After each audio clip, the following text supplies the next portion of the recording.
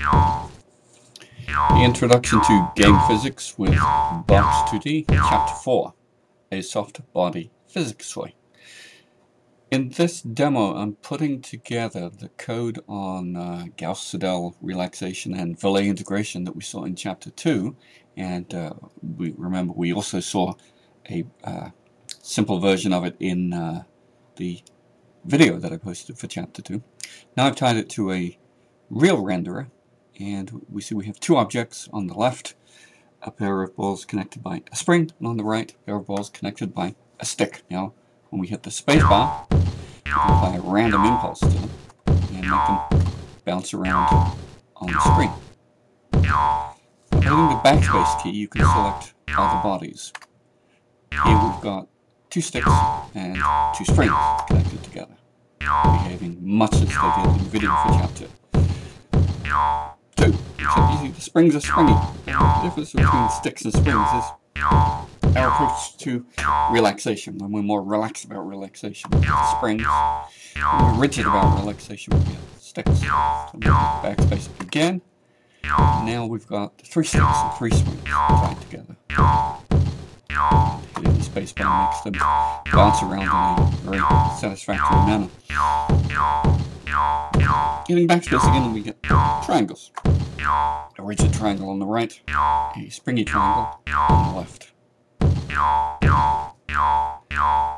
We can get also a square. Now I've cross-braced this square from diagonal to diagonal to make it more square-like, we get rid of one of these cross braces and things would start to look a little funny when we bounce.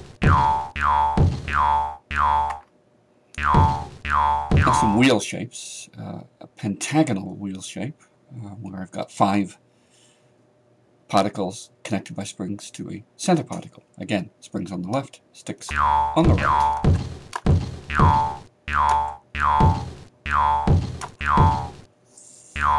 finally, as far as wheels go, I've got six particle wheels, a, a hexagonal wheel if you like. Again, bounce around.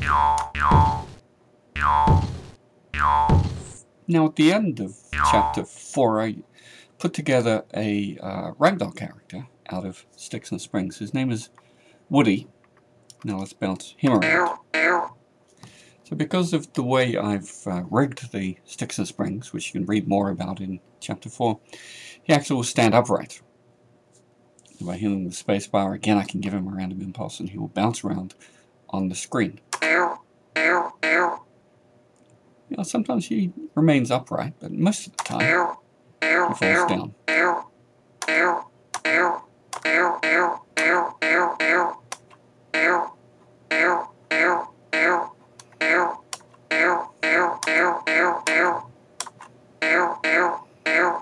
With all of these shapes, if you hit the enter key, it relaunches the same shape. So I can start him off again, standing up.